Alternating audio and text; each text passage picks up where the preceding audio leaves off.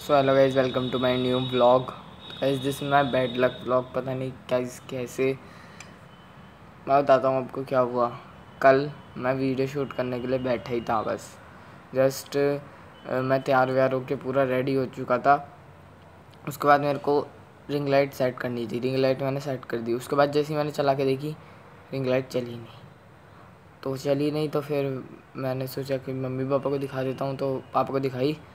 और फिर वो तब भी नहीं चली। उसके बाद क्या हुआ मैं आपको दिखाता हूँ। ये देखो, ये हो गया उसका। रिंग लाइट ही टूट गई। ये ये तो खुली है ये तो खुली है, ये वापस लग जाएगी। लेकिन गाइस इसके अंदर ना यहाँ तार रहती थी, यहाँ पे, इस जगह। बिल्कुल इस जगह तार रहती है। तो वो तार ही निकल गई गाइस ये देखो। This is my bad luck ये आज मेरा बैड लक हो गया मतलब कल। तो व्लॉग मैं आज बना रहा हूँ क्योंकि शाम के टाइम पे कुछ ऐसा सीन हुआ। उसके बाद अब देखिए, देखो।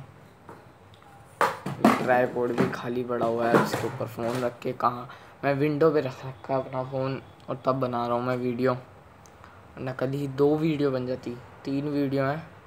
तीन वीडियो मेरे को शूट करनी है और कल दो वीडियो बन जाती और एक आज बनती।